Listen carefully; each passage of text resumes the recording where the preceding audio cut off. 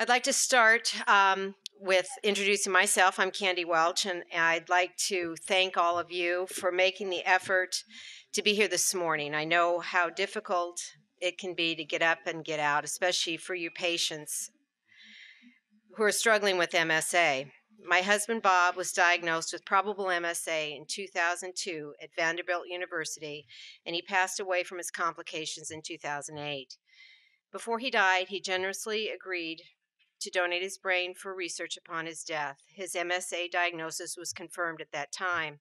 He was only 57 years old. I wish we'd had a resource like this symposium when we were dealing with his illness, and I hope when leaving here today you'll all feel like your time here has been well spent. I found Robin Riddle through the internet in 2006 and started attending the support group she founded for caregivers whose loved ones were suffering from the four atypical Parkinson's diseases that are represented here today. I stayed on to help with the meetings after Bob died and have been involved with the, her creation of the nonprofit organization BSN, or Brain Support Network, which will assist patients who want to help with research through brain donation and will offer help, offer support and education for caregivers. Now I want to introduce our speaker, Dr. Kathleen Poston. Dr. Poston is on the Stanford Movement Disorder team and has clinical expertise and research experience in MSA and Parkinson's diseases. I've heard many great things about Dr. Poston and her practice. She comes highly recommended by some of our support group members for her caring nature and her knowledge of MSA. Please help us in welcoming Dr. Poston.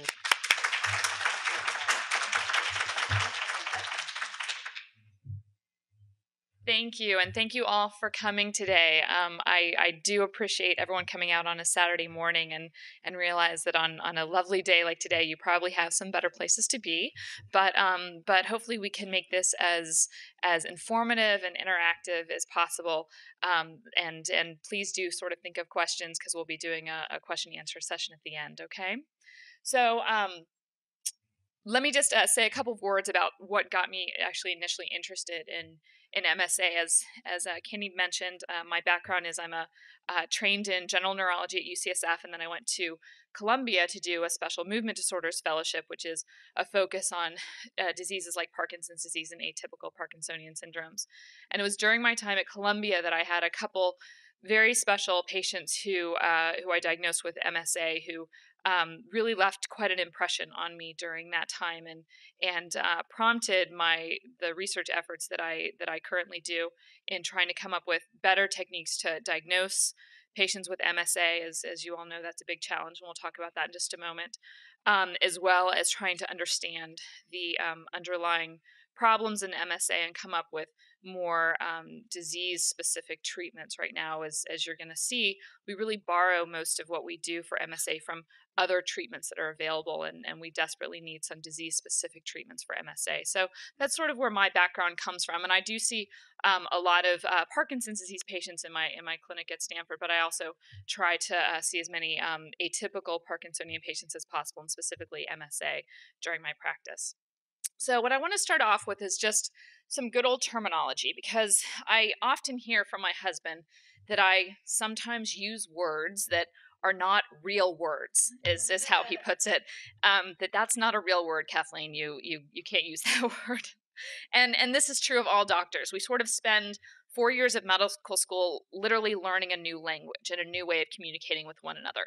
And that new language um, is is great when doctors talk to each other because we use very shortened phrases to communicate a lot of information and it facilitates information. But then it turns out not everyone has gone to medical school and has learned that language. And it's very hard to sometimes translate all of that into what patients hear. And I think MSA is particularly challenging with this because there's been changes in terminology over the years. So I just want to go over that for a moment because a lot of you have probably heard these different words, and it turns out they mean very specific things to your doctors.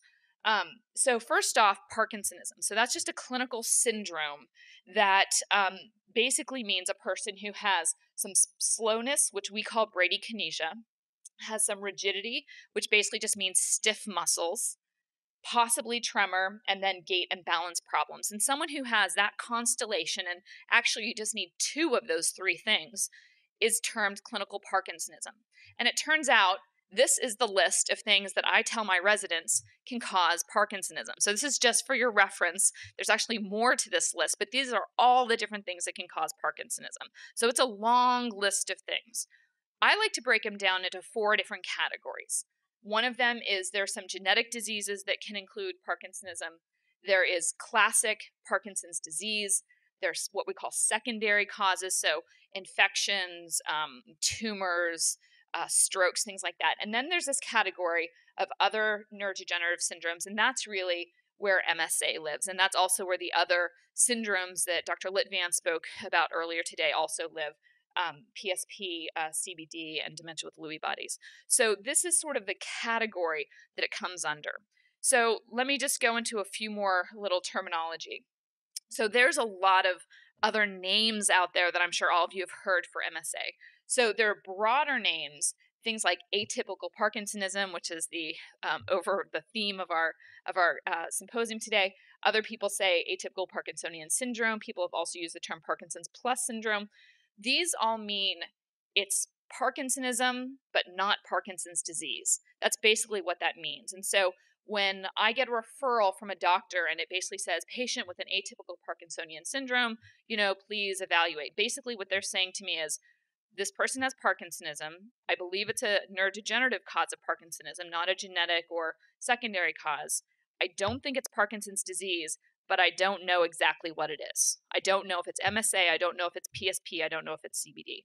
So when doctors broadly use that term atypical Parkinsonism, it's usually because they're not confident that it's specifically something like MSA or PSP. It's a broad catch term that we use that means not typical Parkinson's disease, but I'm not 100% sure I can narrow it anymore. Okay, so that's that's what that term means. Now there are these older names for MSA that some of you have also heard, things like Shy-Drager syndrome, striatonigral degeneration, and spontaneous olivopontocerebellar atrophy. That last one's a bit of a mouthful. Um, these are syndromic terms that were described many, many years ago when um, doctors would see patients and this top one, they'd see patients with a lot of blood pressure problems, and this middle one, these were patients who looked very Parkinsonian but didn't get a great response to medications. And this bottom part were patients who had a lot of um, a lot of coordination problems. And it turns out that in 1989, this Dr. Papp and colleagues, um, through the very generous donation of a lot of patients who had who had died and had donated their brains to research, he looked at all these brains of patients who had these three different syndromes and realized the underlying pathology was identical. And he's the one who pulled it together and said, let's stop calling these things different diseases. Let's call them one disease and let's call it multiple system atrophy. And the reason why that name was chosen because it meant multiple brain systems. Okay, so the system of the brain that controls the autonomic nervous system, which I'll explain a little more of in a moment, the part of the brain that involves coordination, which is the cerebellum, and the part of the brain that controls speed of motion, um, which is the Parkinsonism part. And so that's where the name came from. So, really, honestly, was only in 89 that um, doctors even had a clue that these diseases were actually had the same underlying pathology. And this is really what pushed um, our understanding of MSA forward. So just one more slide of, or two more slides of science for those of you who are interested. Um, it was a couple years later people realized that um, that this pathologic finding that Dr. Papp had discovered um, were basically these little blobs here, um, and these little blobs are basically protein clusters of the protein alpha synuclein. And that protein cluster, alpha synuclein, is the same protein cluster that's actually found in both Parkinson's disease and dementia with Lewy bodies. And that's why these three diseases are often termed together by scientists as synucleinopathies because they have the same protein cluster that's underlying the pathology, which means they're probably related somehow, but we don't exactly understand how. Um, scientists don't know whether these protein clusters are protective or if they're the problem. That's a big debate. Maybe these proteins are clustering in a way to try to protect the nerve cells. Maybe the proteins clustering are the underlying problem. It's it's it's honestly um, quite debated um, in the scientific literature what exactly the the role of these protein clusters are. But nonetheless, these are where the term um, synucleinopathy comes from. Is from these these little blobs that happen here. And the way we diagnose this on a pathology um, when someone dies and, and donates their brain is that we look at certain regions of the brain, and this right here is the region where we see most of these little protein clusters over here. Um, and so that's how the diagnosis is made on, on pathology. Okay, so clinically, then, what does it mean to have MSA? Where, where does that come from? So, MSA is a condition that's characterized by autonomic nervous system problems associated with either Parkinsonism or cerebellar symptoms. So let me just take a step back and what does this autonomic nervous system mean? So the autonomic nervous system is the part of the nervous system that controls things that you have no voluntary control over. So for instance, your blood pressure going up or going down is not something you can sit there and think about and make happen. The brain controls it, the brain makes that happen, but you can't sit there and voluntarily make it happen. Same with your heart rate. Heart rate going up, heart rate going down. The brain controls that completely, but you have no voluntary control over it. Same with urination. So, as you sat there and drank your coffee during Dr. Litvan's talk this morning, your bladder started to fill, and the muscle of the bladder naturally relaxed in order to accommodate that filling. That muscle relaxation is not something you can voluntarily control, like the movements of your hands, which you can voluntarily control and I do quite often when I'm talking. Um, so, so those are all parts of your autonomic nervous system, things that the brain controls the function of, but you can't voluntarily override, for the most part.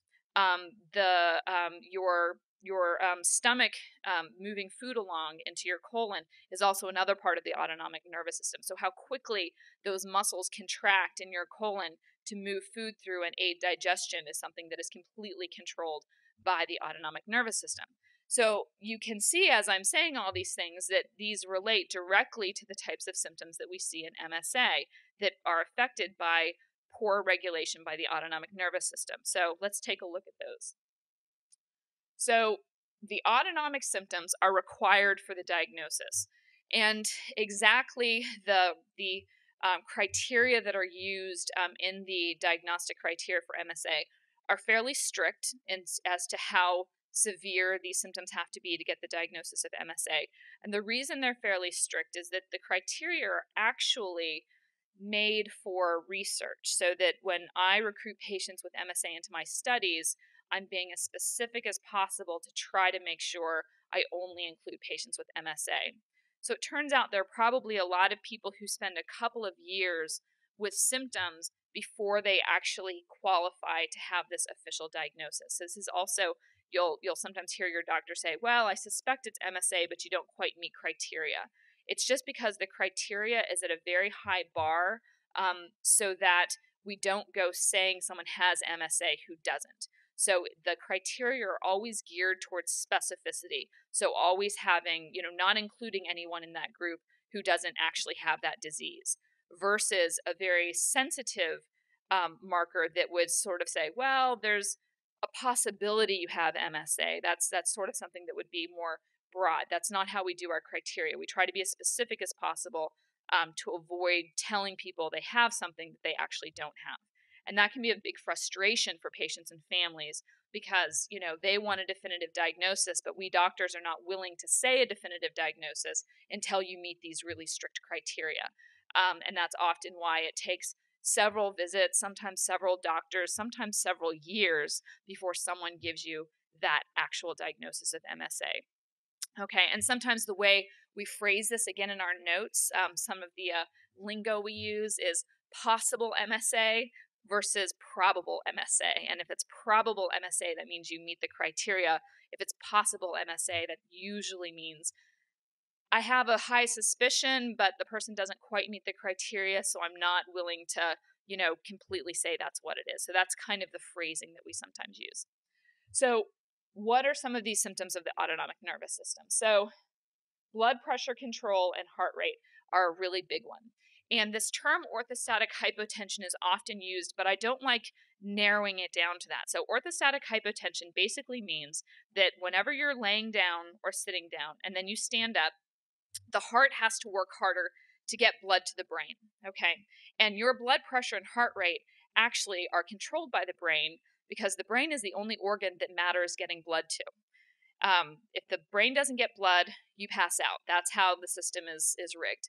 And so the reason you pass out is because if you get flat, it's easier to get the blood to the brain, and the brain is very selfish from this perspective. It doesn't care where else the blood is going; it just wants blood itself. It it it requires that. So so if you stand up and you can't get your blood pressure and heart rate high enough to to compensate for that change to standing, the brain says, I'm not getting enough blood. We're cutting things off, and it makes you pass out. And so it's, it's actually an active process of passing out, is what happens. What the brain is literally shutting itself off for the purpose of getting you flat so it can get more blood. That's what orthostatic hypotension is. Now, it turns out that in MSA, it's not just the drop in blood pressure we see, but we see elevations in blood pressure. And that often confuses people because you hear orthostatic hypotension, lightheadedness, drops in blood pressure, but actually what we see is fluctuations. Patients go high when they're laying down, they go low when they're standing, sometimes they go high when they're standing. It's a dysregulation of the nervous system. It's not just the drop in the blood pressure, it's a dysregulation. Patients' heart rates will go high, they'll go low for no real reason, or just based on a tiny little trigger. So it goes high because, you know, they stood up a little bit too quickly and then drops low for some other reason. So it's a dysregulation. Things go up, things go down, not quite as tightly regulated as they should. So that's sort of a, a broad way of thinking about blood pressure. The urinary difficulties and incontinence. So think about what I was just saying this morning, uh, a few minutes ago. You drink your coffee, your bladder naturally relaxes to fill up, and then you give the conscious signal, I want to urinate, and now the bladder contracts in a very organized way. Well, when that whole system is dysregulated, you don't get the relaxation you should, and so the, the bladder is is tight and spastic when it shouldn't be, when it should be relaxing, and that leads to release of urine. Um, usually, we voluntarily can say, okay, I want the bladder to relax now, while these involuntary s- signals go down to the bladder and make it contract when you had no intention of having your bladder contract. So, again, it's a dysregulation of this system. And it can go either way in MSA. So, it can be that the bladder stays really loose and open and it won't contract ever, and that's called uh, a distended bladder. Or it can be tightening and contracting when it shouldn't, and that's called a spastic bladder.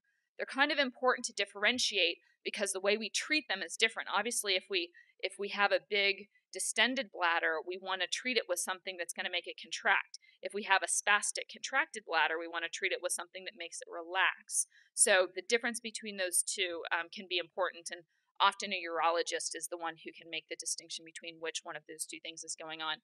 In general, in MSA, the um, the uh, the over relaxation often tends to be the case where the bladder won't contract properly. It just sort of extends and extends and won't contract. But that's not always the case. Some patients do have a spastic bladder. And guess what? You can have both too, which can make it even more challenging. Okay, so the sleep difficulty. So, similar to the other things I described, the process of falling asleep is a controlled over the autonomic nervous system. So, when you fall asleep, certain muscles relax, and in fact, certain muscles come, become completely paralyzed. When you start dreaming, your entire body actually becomes paralyzed. So you don't act out those dreams. In MSA, and this is actually true also in Parkinson's disease and dementia with Lewy bodies, so this is true across all of synucleinopathies, there's often something called this REM sleep behavior disorder. And I apologize, I did not spell it out. I just wrote down RBD, but that stands for REM sleep behavior disorder. And what that means is that when you're dreaming, your body isn't properly paralyzed and you act out those dreams. You might scream, you might throw fists, you might kick. Um, I've had patients who have literally thrown themselves out of the bed before trying to trying to fight someone. We don't understand this, but it typically happens um, when patients are in some engaged in some sort of very active dream where they're fighting someone off.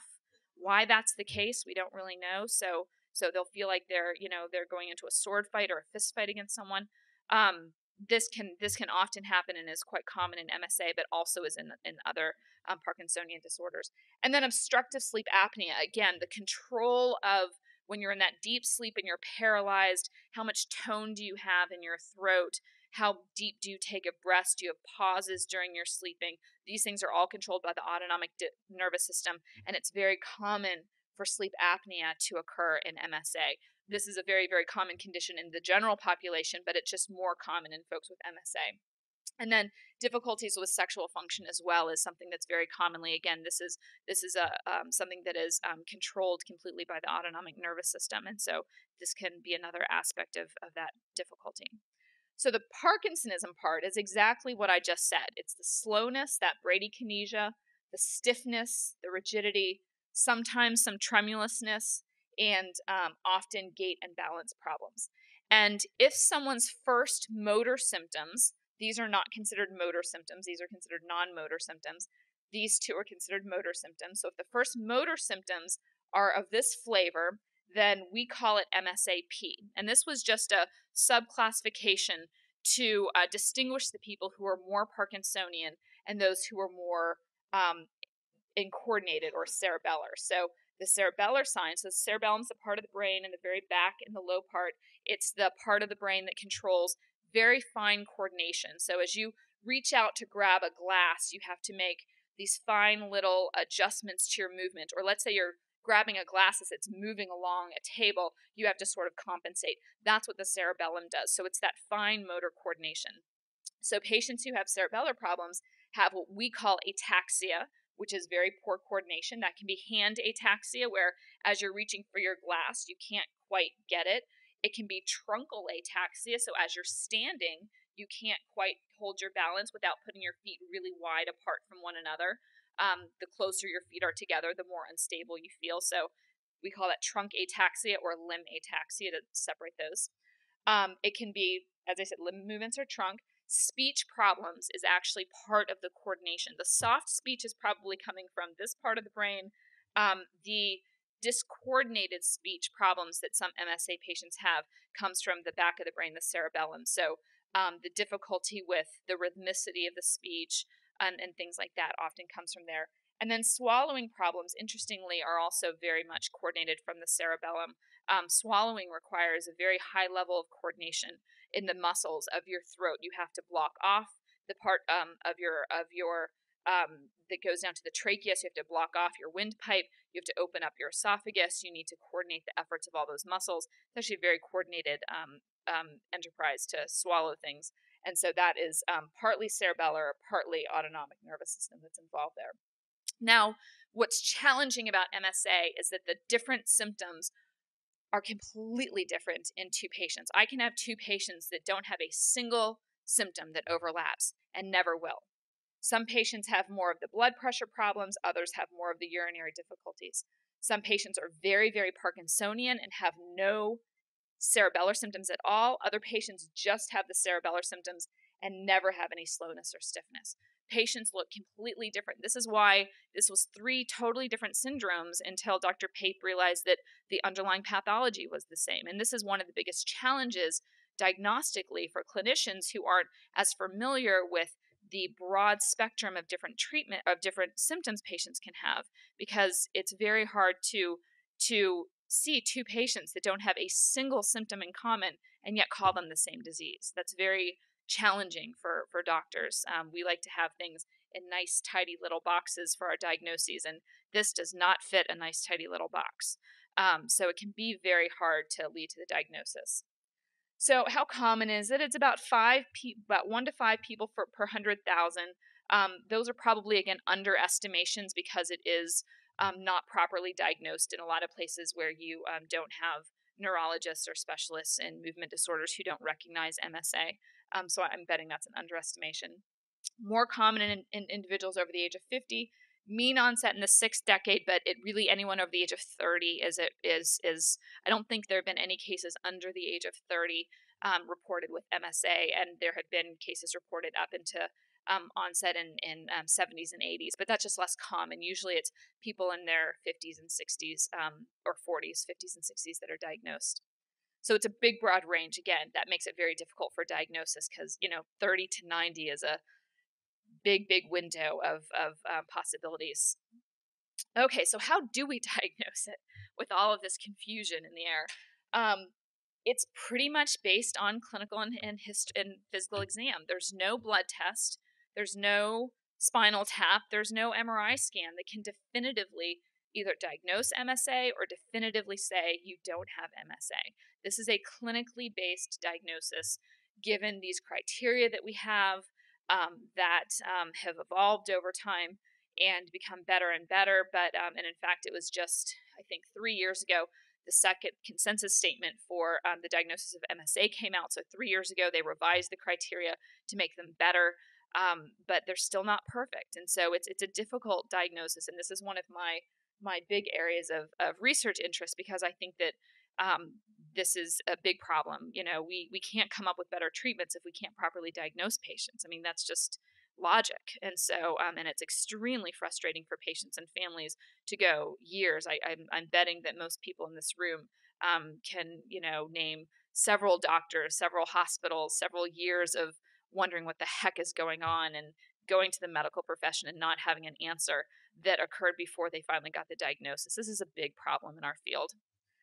Um, we do often get brain imaging and, and blood work but that's usually to rule out other things. So we usually get an MRI scan to make sure the person doesn't have a tumor or a stroke or some structural lesion that could be causing the symptoms. So it's basically these are to find other causes um, of, of, of Parkinsonism or autonomic dysfunction or cerebellar dysfunction, but it's it, they don't directly diagnose MSA in any way.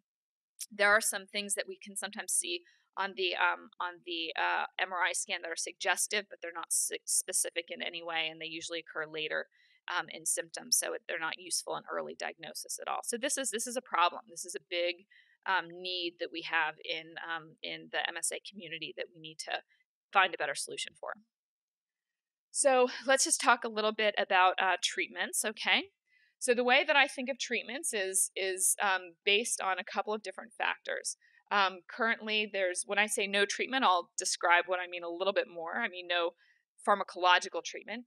Uh, we have symptomatic treatments for the motor symptoms and for the motor symptoms. And then all of our research goals are basically in this category to find something that protects the brain once someone has MSA so it doesn't get worse, and obviously something to restore um, the the ultimate um, uh, problems that are causing MSA. These are these are research goals at the moment.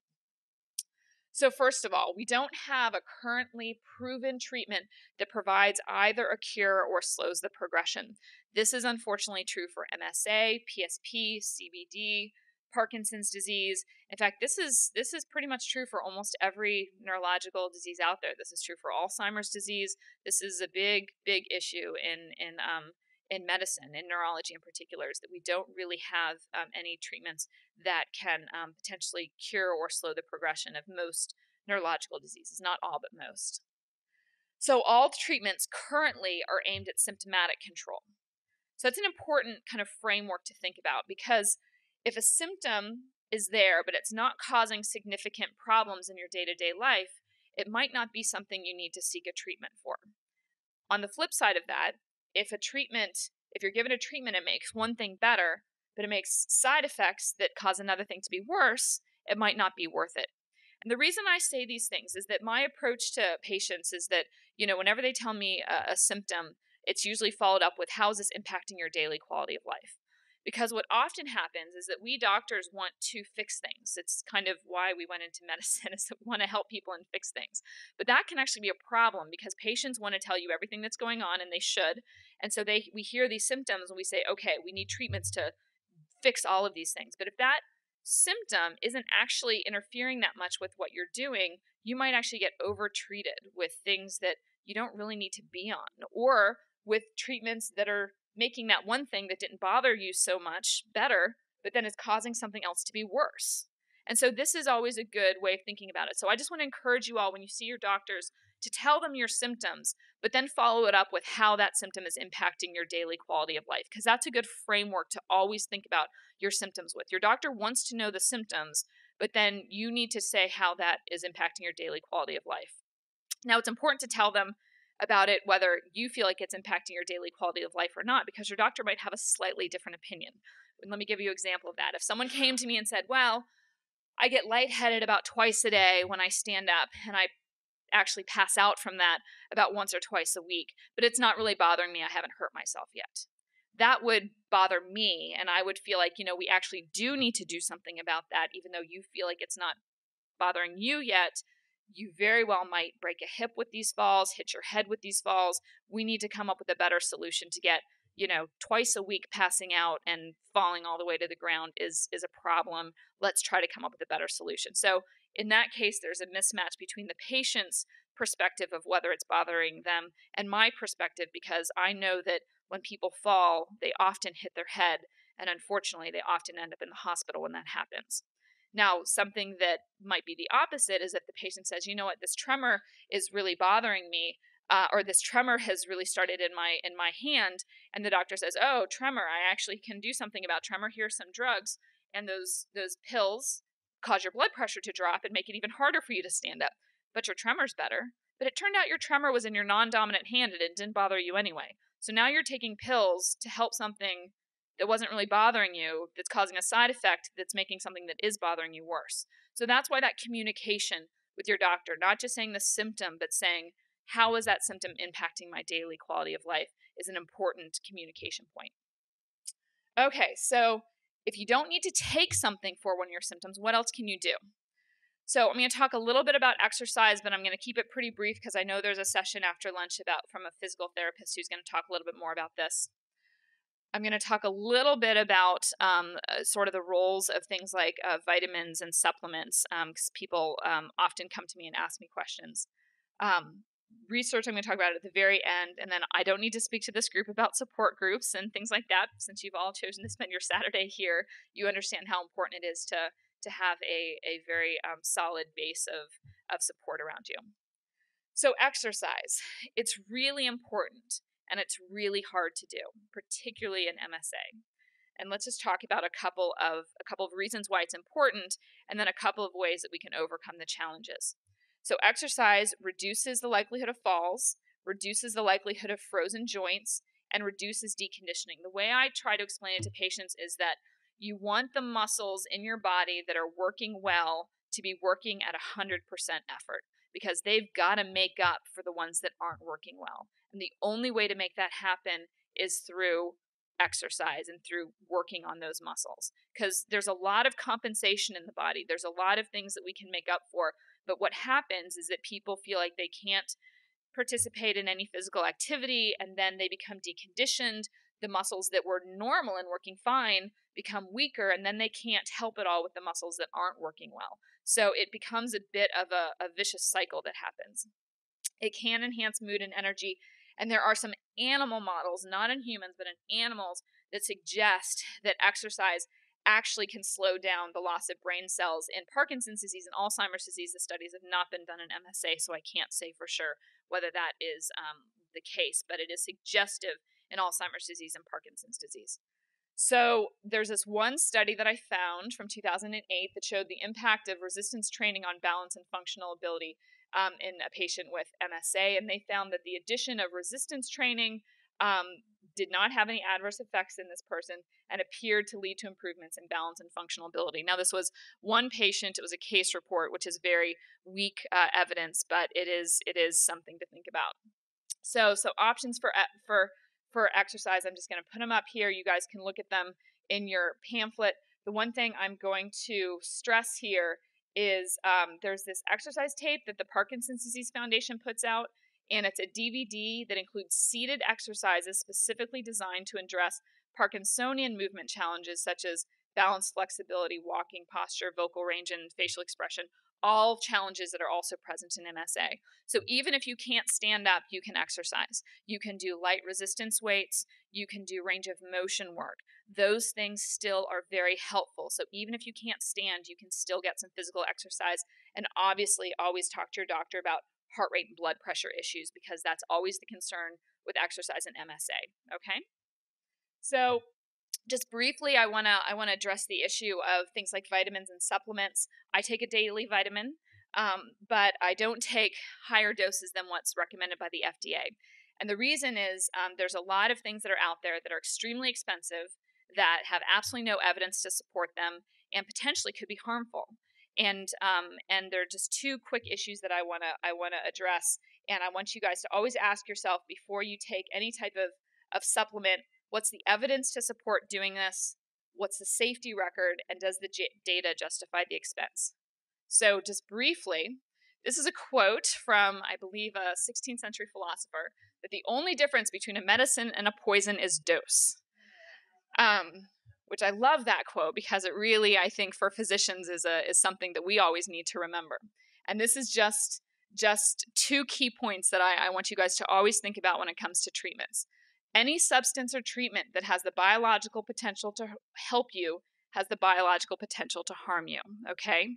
So if someone says, oh, there's no side effects to this, that means there's no chance it's going to help you. Okay? There's no such thing as a free lunch in biology. If it has the chance to help you, it has the chance to cause side effects. The nervous system works very in a very complicated fashion and if you do anything that helps to enhance one thing, it has the potential to harm another. So always everything we do in medicine is always balancing those risks and benefits. So there is no free lunch if someone says this has no side effects, they're not telling you the whole truth. Okay, and this is just an example. Actually, did you know that the seeds of an apple are mildly poisonous and that they contain a small amount of this um, cyanide? The quantity is usually not enough to cause any harm to humans, but it is possible to eat enough apple seeds to cause a fatal dose. So, key fact number two natural does not equal safe. Oh, it's natural. That means it's safe. Not true at all. One of the world's most toxic neurological substances is botulinum toxin, which is a protein that is produced by a bacterium, uh, similar to the way that we get penicillin, one of the best uh, antibiotics. Um, it, this is the world's most toxic neuro uh, neurotoxin. It completely paralyzes the entire nervous system when people get botulinum. It turns out that we also use it as Botox for cosmetic and medical purposes when it is um, given in a dose and a um, and a treatment way that is um, that is not harmful. So sit. So natural does not equal safe. So just keep those ideas in mind when you think about treatments. So we're just going to briefly go through some treatments um, of of medications. So Sinemet, many of you know, is carbidopa levodopa. This is the mainstay of treatment for Parkinson's disease. This can help the slowness and the stiffness. It will not help the coordination problems, and it potentially can drop blood pressure. So I only give Sinemet to patients who are having, in, with MSA, who are having issues with slowness and stiffness, not with those who are having just coordination problems or just blood pressure problems. So again, it's important to ask your doctor, what is this supposed to help?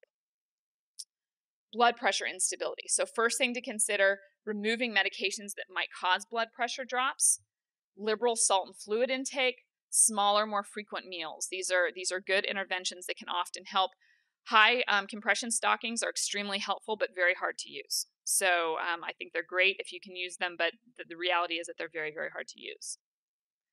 Um, for low blood pressure, these are the two main medications um, fludrocortisone and midodrine.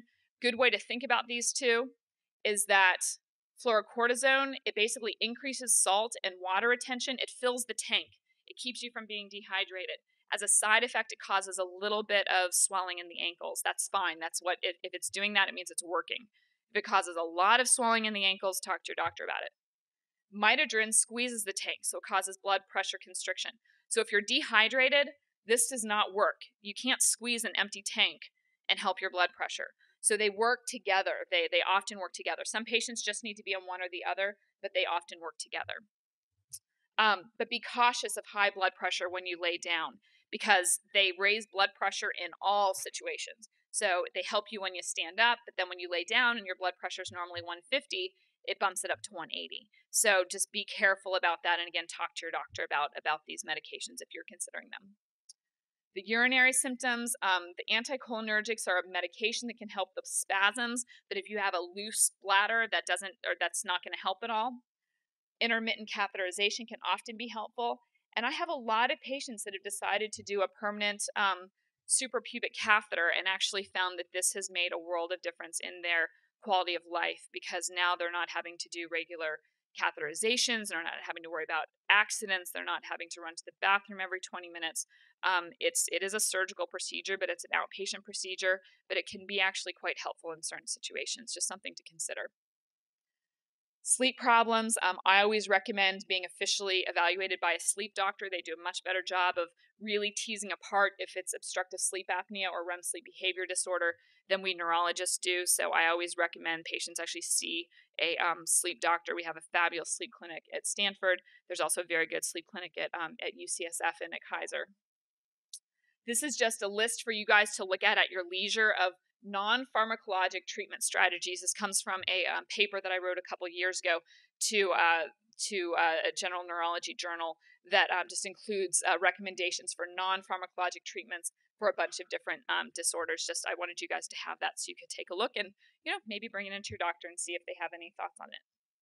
Okay, so research. Last couple minutes. The goal of research is to provide better symptomatic treatment, obviously, to find a way to slow disease progression, and ultimately, we want a cure. Um, I looked last night on clinicaltrials.gov, and there were 43 clinical trials listed in the United States for multiple system atrophy. 15 were currently recruiting or are going to be recruiting soon. So it's not a huge number, but that there is active research going on in, in the United States, and this is just the United States. Um, these are two drugs that are currently under medication trials right now. Rasagiline, um, both of these are closed, unfortunately. They're not accepting any new patients, but they both are things that you guys should keep an eye out for in the literature soon. Rasagiline um, is a drug for Parkinson's disease, and it's being looked at in MSA. Rifampin or rifampicin is a drug that's currently approved for tuberculosis, and um, there was some evidence to show that um, there's a um, basically that rifampicin might be able to help with some of this protein, abnormal protein synthesis of that alpha synuclein protein. Um, so they are hoping that it could potentially prevent or reverse the protein clumping. Um, this study uh, is being led by a group at, at UCLA, and they just finished recruitment. I think it's going to be about a year before we see any results, so just kind of keep your eyes open for that one. In last two minutes, I want to talk about a very controversial um, study because I don't know if any of you guys have um, heard about this one, but if you have, I wanted to put my two cents worth. So, um, this is a study that was done out of Korea. They showed in 2008, they basically, these are stem cells that they inject into the carotid arteries. So, the carotid arteries are these two main arteries that go to your brain. And the reason why they injected them there was because the stem cells are not going to get into the brain. They're not going to pass through the blood brain barrier. Any anything injected into the into the veins or the arteries will not pass into the brain. You've got to put stuff directly into the brain. But what they wanted was the nutrients that these stem cells um, produce to cross into the brain. And if you inject somewhere else in the body, they're going to be cleared out by the liver. So they literally were injecting right in the carotid arteries. So next stop is the brain, and all those nutrients would go straight to the brain as a way of trying to protect the nerve cells. In uh, two months ago, they released their um, their secondary um, study, and this was 33 patients. Half of them got um, treatment, half of them got placebo, so basically just saline injections. And it was a positive study. The folks who got the treatment um, did look a little bit better on their clinical ratings um, at about 180 days after the treatments. However, this is just a quote from a, um, a commentary um, there were significant concerns about safety. Um, a significant uh, percentage, 30% of the stem cell treated and 35% of the um, saline treated patients developed ischemic lesions. Those are strokes. Um, um, on MRI, and at least one subject had neurological deficits that required coming out of the study. The authors seemed rather cavalier in dismissing this problem, which I agree. I was not impressed with their discussion of this problem in the paper. Um, the mechanism was also unclear. Um, if you're providing growth factors, this is a very transient um, benefit, and so repeat infusions are likely necessary. So, um, it, the, currently, this approach carries unacceptable risk, which I agree with. However, um, this is not a cure, but it may have the potential of leading of, of, of delaying progression. So, what they recommended, and I agree with all these recommendations, that the study needs to be repeated in a multi-center study um, it needs to be done only when the safety factor can be addressed and the third of patients aren't getting strokes. It needs to be carried out in both MSAP and MSAC. The study was only done in MSAC. And um, if the benefits appear to be transient, the um, the frequency needs to be um, needs to be addressed. So I think this is a promising therapy. This is not something I would recommend anyone to go out and get today. Um, obviously, the risk of strokes in a third of patients is very very significant um, and is not not a benign treatment by any means. But the science did show that there might be some potential treatment here. So this is a possibility for the future.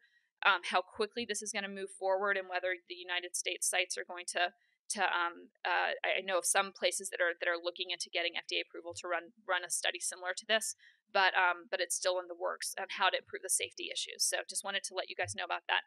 Okay, so the rest of the slides I'm just gonna actually breeze through because my time is officially up. So all I wanted you guys to think about is consider participating in research studies for MSA. Um, one of the facts that the Michael J. Fox Foundation puts out is that 30% of all clinical trials fail to recruit a single person in the United States. 85% of clinical trials face delays due to limited participation. Every clinical trial I have ever run has taken twice as long to recruit patients than we initially expected. It's a big, big problem. Um, fewer than 10% of Parkinsonian patients ever take part in any type of clinical study, despite more than 85% saying that they really want to help move research move forward. So this is just I'm gonna just go through these the, of different studies that are going on in my lab, but I have this flyer here. If anybody wants to consider participation in, uh, we're doing a study doing imaging in MSA. It's not a treatment. There's no treatments that we have available, but um, but if anyone is interested in hearing more about our research studies, I have a flyer up here. I also have a flyer for um, healthy controls who do not have MSA who might be interested in participating in research studies. So that's all. Thank you so much, and we're going to have some time for questions. Mm-hmm you know, speak to the difficulties of blood pressure issues when moving from horizontal to vertical positions mm-hmm. and the use of Florinef. Did I get that? Is that okay?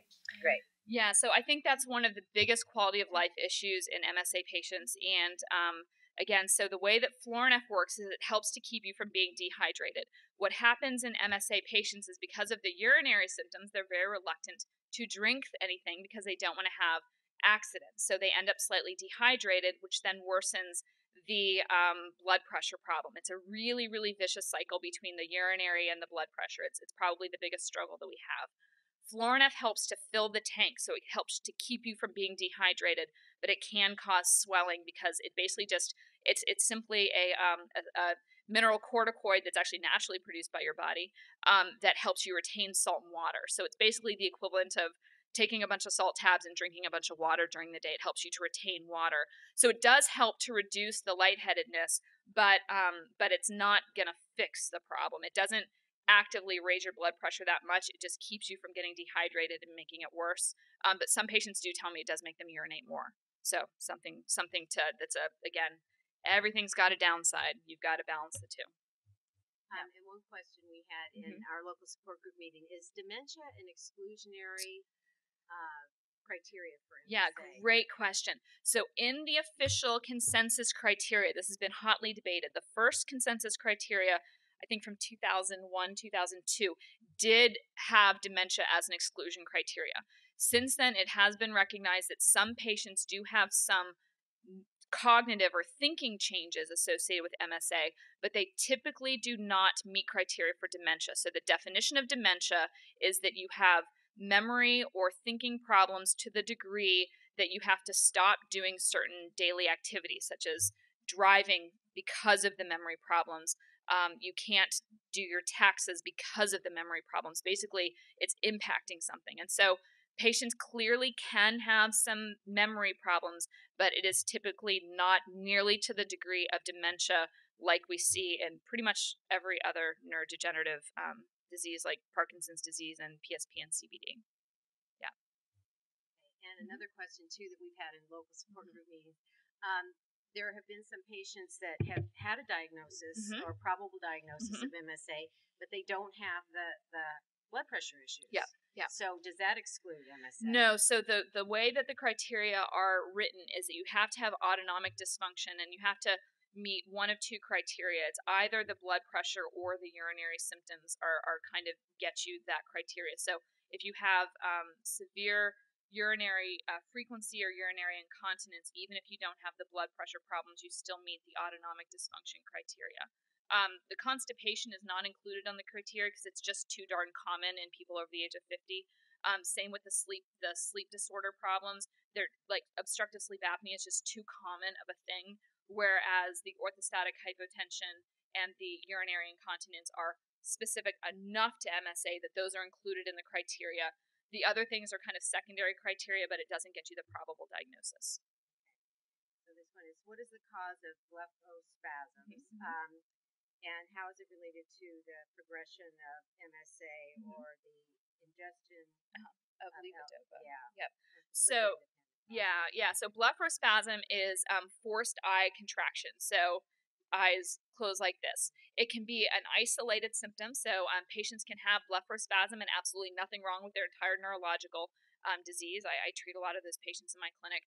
Or it can be part of a neurodegenerative disease. It's seen in uh, corticobasal degeneration. It can be seen in MSA. It can be seen in Parkinson's disease.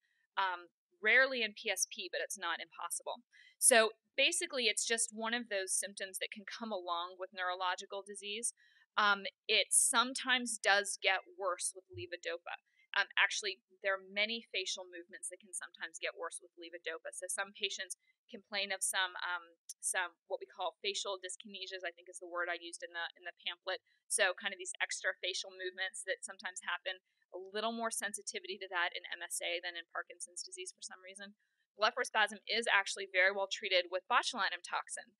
Um, a little bit of Botox um, actually is the state of the art treatment for this in patients with either idio- either isolated blepharospasm or blepharospasm is part of a neurodegenerative disease. We just do a little bit of Botox right above the lid and below, and it helps to reduce the contractions. It doesn't make them go away, but it can reduce them quite a bit so your eyes aren't closing quite as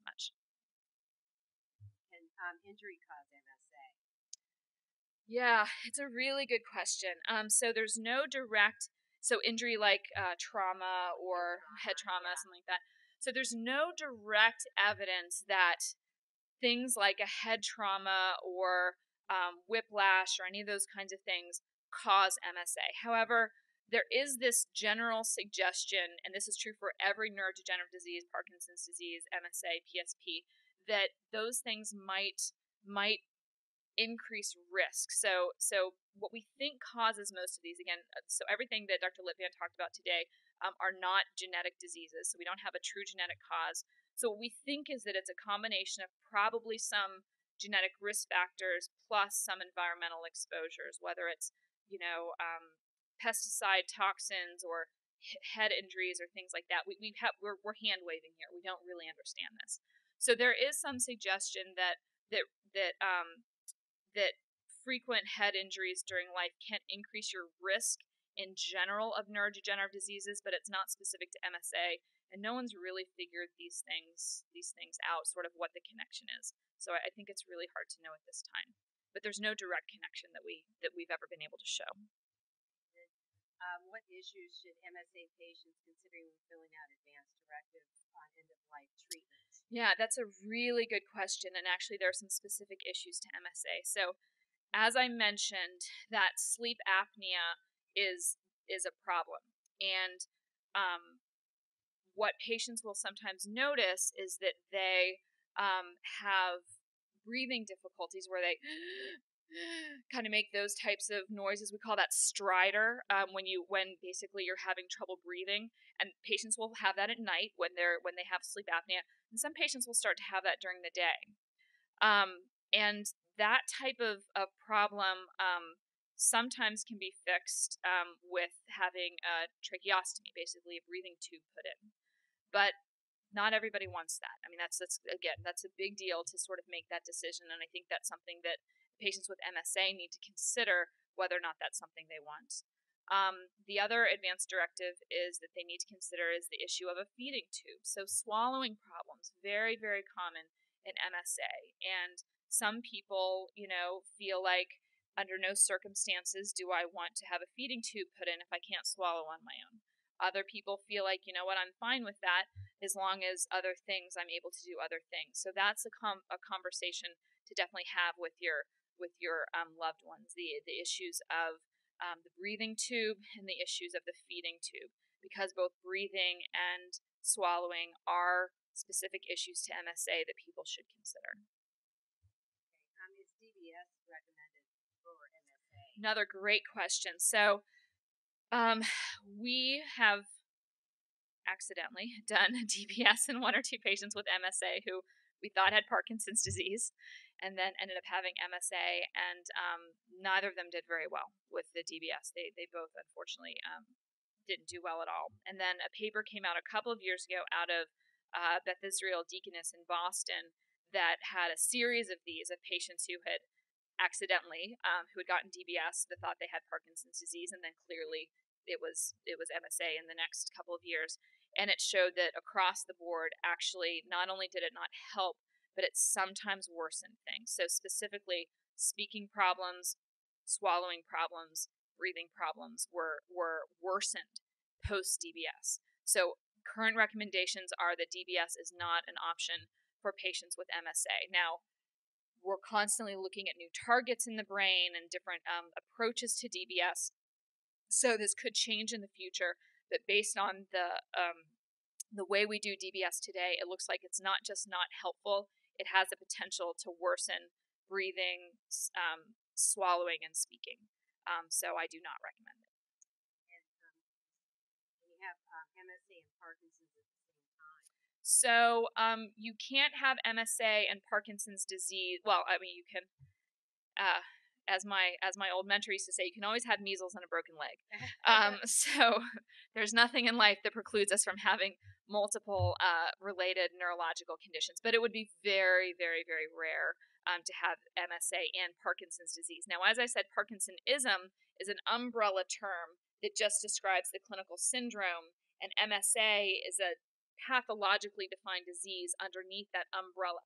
So, oftentimes patients will be told, "Oh, you have Parkinsonism." You, and you have MSA, you have atypical Parkinsonism, you have Shy-Drager syndrome. They're all saying the same thing, they're just saying it a little bit differently. MSA is the most specific description because it's describing not just the clinical syndrome, but the suspicion of the clinician that this is the underlying pathology. So that's the most specific term.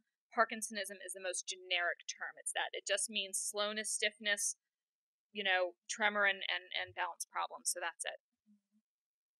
Has anyone ever benefited from stem cell did speak about yeah. one. Have there been any others? So that's the only study that has been done. I have, um, I happen to know of some patients that have um, gone to other countries and gotten um, stem cells injected in their spinal cord, and I have not seen any benefit of those um, couple of patients.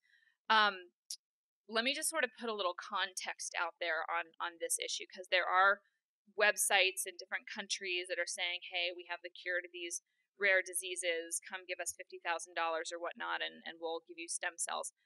Um, as I mentioned, there's no there's no neurodegenerative disease that we have a cure for right now, and very few that we have any possibility of slowing the progression. So, as a physician, if I had a treatment that definitively actually helped um, slow the progression or cured MSA, I would win the Nobel Prize for it. It would be that big of a deal. The first person to actually get a cure or a true aggressive way to stop the progression of one of these neurodegenerative diseases is going to be a big deal. So if someone is offering money to do this and they haven't published in scientific journals, they have no proof that their system works at all. This is something that someone would, I mean, it would be a big, big deal. So don't trust claims that, that go with those kinds of things. Um, again, it's it's something to always, you know, ask your doctor what's the evidence for it. You know, it can be. This was not included in the first consensus criteria, but then since then, um, pain has become more and more of a of a recognized syndrome. And I have to say, I have patients who have completely unexplained pain. I can't figure out where the heck it's coming from. It's not arthritis. It's it's not stiffness. It's just pain, and I, I believe it's probably coming from the autonomic nervous system. It's a dysregulation problem, but I don't fully understand it. But absolutely, I have patients who have unexplained pain that I have a very hard time um, getting to the bottom of. I typically send them to my pain center at Stanford because those folks are much better at coming up with really um, interesting treatments for for uh, chronic pain rather than you know just putting someone on on just a, a typical medication. But um, absolutely, and I don't understand it, and I think it's a much bigger problem than most doctors recognize. Been reading about a new drug, Northera.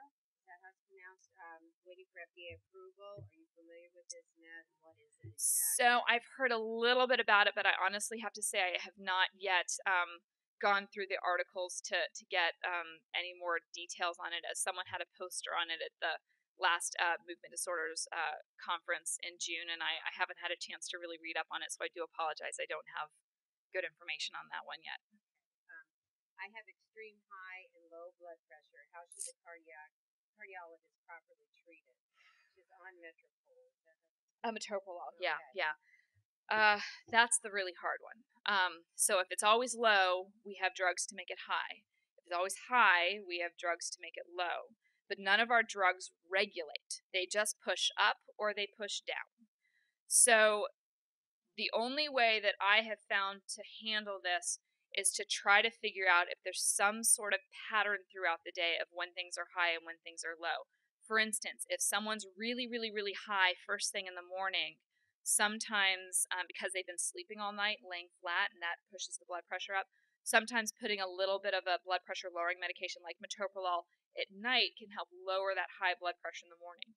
But then, if at one o'clock in the afternoon after lunch they tend to run really low, and that's when they pass out a lot, a little bit of a blood pressure hiring agent around noontime can help. But if it's you've got to be able to figure out if there's some pattern to it, if, if there's some you know a specific time of day where, where there's the biggest high problem or the biggest low problem. And it tends to go with what you're doing. When the, the more you're flat the higher it's going to go. The more you're up walking the more you're eating that's going to drive it down. So those are things that can push in one direction or another but it's it's very very difficult so the timing is the only way that i've been able to find to work around that um, do you recommend acupuncture for msa do any of your patients have experience you know, um, I um, I yeah for for pain. So so acupuncture has specifically been found to be helpful in certain pain syndromes in neurology. I have a lot of migraine patients who do acupuncture. Um, I have um, low back pain patients that do acupuncture.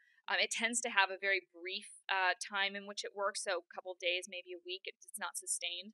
Um, I don't understand how it works. I don't really care that I don't understand how it works if it works. Um, but but if it if it I, I I don't think it's I don't. There's no evidence to show that it's been particularly harmful um, in patients with pain so far. I do have some patients that have reported it can be quite expensive, but if you're really, really having a hard time dealing with pain, um, I, it's not a bad idea to try. um, if a patient does uh, with MSA has a DBS, can you turn it off?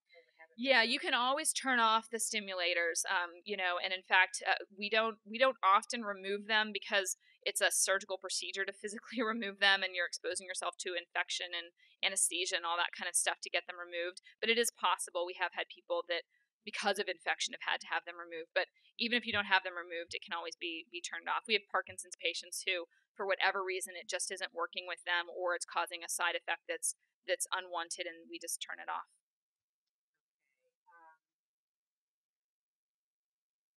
um, body has a life death sentence of three to four years. Is MSA similar? So um, there was a fascinating paper that was just published, and I, I, am forgetting the exact number, so forgive me if, if you look this up and I'm not exactly correct. Um, that had a handful, I think it was four MSA patients pathologically confirmed that it had a lifespan of 20 years from time of first symptom.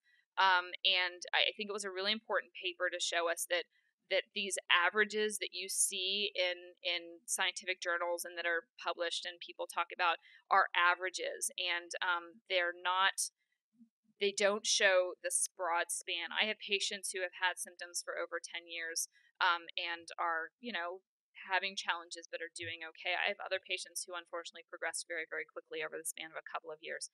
We don't understand why the broad range in progression exists, but it really does. Um, you know, and so I would say that there's there's absolutely nothing to say that an MSA patient can't live with symptoms for for 20 years. It's obviously been shown in this one case report. Um, so I wouldn't consider it a death sentence. I would I would, you know, always be hopeful that you're in that that higher longevity group. And honestly, I think that the numbers we use are based on data from the 1980s and 1990s before doctors were more aggressive in doing things like treating blood pressure, treating obstructive sleep apnea, you know, treating these different things. Um, you know, we, we weren't aggressive about physical therapy and and speech therapy to help with with contractures and infections and, and swallowing problems. So I think if we did the epidemiologic study today, those numbers would be very different. Um, do you see any difference in women with longevity? Um, so, in general, in, across the board with neurodegenerative diseases, uh, women tend to have a slightly longer longevity than men, but it's very, very small. Um, that, and that's that's the data mostly comes from the Alzheimer's disease literature, a little bit from the PD literature. Um, but other than that, we don't see it specifically in MSA. Yeah. And so, are you in, currently doing clinical trials uh, personally?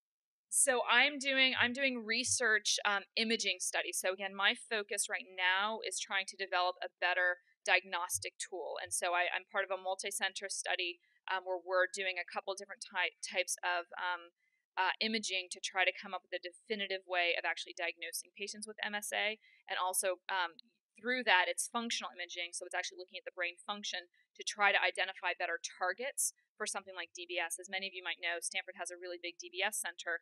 And so, what I want to do is try to um, see if we can use our functional imaging techniques to see if we can identify where in the brain would be a better target for MSA um, in DBS, because clearly the Parkinson's disease targets don't work and cause problems. So, uh, it's kind of a twofold goal of one is to diagnose, the other one is to understand the brain circuitry better so that we can come up with an MSA specific treatments, um, surgical type treatment. So, that's what I'm recruiting for. Yeah, so the way that we deliver it in the clinic, um, it's not. So it's it's just put into the muscles. We don't get it into the bloodstream at all, and the dilution is um, like one in a hundred thousand. So it's very very tiny little amount that we use. If it gets into the bloodstream, it's toxic, or if the actual um, toxin itself gets into a wound, it becomes toxic. But the way that it's delivered um, with with Botox is one of the brands, Myobloc is another one of the brands, where we put it specifically into the muscles in a highly highly diluted form. Um, it's not been found to be toxic at all. So again, it's it's all about um, dose and delivery is is the difference between a poison and a medicine. Uh, how to manage frequent uh, urges for urination, but 95% are not the real need. Okay. Um, should I see a neurologist? Yeah, so actually a urologist might help. So if yeah, so if if if you're having a lot of feel like you need to urinate but you get there nothing happens, probably what's happening is the bladder is spasming when it's empty. And so the spasm, the contraction of the bladder is the thing that gives you that oh my gosh, I have to go feeling. Okay, that gives a signal up to the brain that says get to a bathroom. But if th- there's nothing in the bladder, then it contracts. You say you feel like you have to go. It gives you that uncomfortable feeling, but then there's nothing there. So that's often a contraction issue, and there are some medications that can help relax the bladder. But a urologist is the only one who can truly make tell the difference between that that open bladder that won't contract and the one that's overly contracting. So yeah, I would definitely see a urologist because there are some things that they can do. There was one study looking at actually doing Botox into the bladder of patients like that, um, but I don't know if the results came out to be helpful or not. So I, am um, that one I think is still um, they're still looking at the data. They haven't released that yet. Okay, are there more severe autonomic symptoms that appear other than urinary blood and heartway issues? The breathing problem uh, with sleeping that um, that uh, um, obstructive sleep apnea with the kind of that really tight um, breathing can is sort of the other one that I get very worried about um, that can cause a lot of of problems, um, and particularly if someone's having that type of breathing during the day, um, that can be that can be very worrisome. Oftentimes, uh, BiPAP or CPAP machines that a sleep doctor will um, will fit people for can help with that. The preceding program is copyrighted by the Board of Trustees of the Leland Stanford Junior University. Please visit us at med.stanford.edu.